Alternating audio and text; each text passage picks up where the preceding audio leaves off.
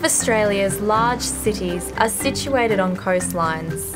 Living near the beach has become a highly desired lifestyle, but it's hard to believe that at our doorstep, beyond the rolling waves, is an abundance of marine species tucked away beneath the surface. But there's one problem. We share this environment with an animal that is grossly misunderstood.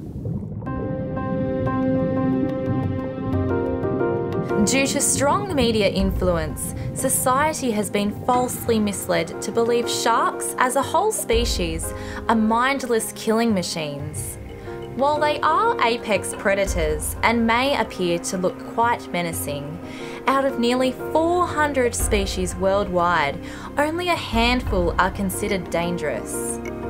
In fact, due to human intervention, a lot of species are now in trouble and global food chains are being turned upside down because shark populations are dramatically declining. One of these species is the grey nurse shark. During the winter months and in some areas year round, grey nurse sharks can be seen off the Australian coast. Like many other sharks, Grey nurse sharks are timid, harmless, and amazing animals to dive with.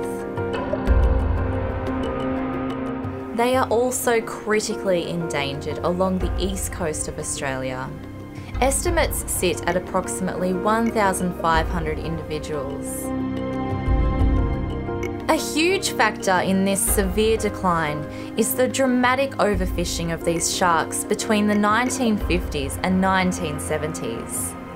They were targeted and deliberately caught because people were frightened of their appearance. It was an easy task because grey nurse sharks appear slow and placid. Today, they still face the threat of illegal or accidental fishing. Often, they are found with large hooks lodged in their mouths, which may prevent the shark from feeding properly. Grey nurse sharks are also slow to reproduce and usually breed once every two years. Males will bite the female to mate with her, which may explain the scarring seen on some. After a 9 to 12 month gestation, females generally give birth to two pups, one from each of the shark's two wombs.